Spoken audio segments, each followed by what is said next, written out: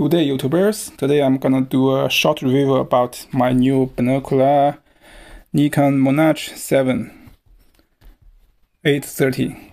It's very short so I'm gonna make it quick. Three menus and warranty, about 10 years warranty. And uh, neck strap, also the receipt and the binocular and the back, very good quality. And the box, that's it and the binocular got pop up lens cap and uh, the Nikon logo at front here is a metal effect very good so also here. Nikon Monarch M711 830 8.3 view that's why I bought it. That's the reason and it's waterproof Let's compare about my other pair. That's a 1025, also made by Nikon. It's very good build quality. You can see the eyepiece is so different. That's why I bought it. Another reason.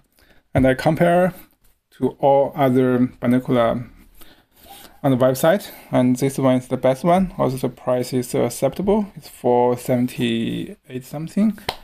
It's in Australia, so everything is uh, we pay more than USA. So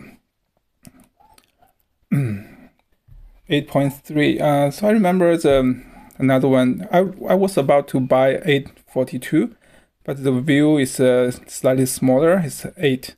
So I, I thought, why not? This one is uh, cheaper.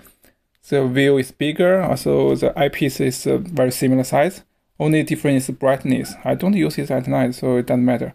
Even this one, I use at night. I feel it's all right. So, and I tried this binocular. It's very sharp. Not like I only read one review. It's about the sharpness of the edge. Only one guy said the sharp the sharpness is not enough. I think he is the owner of the Sval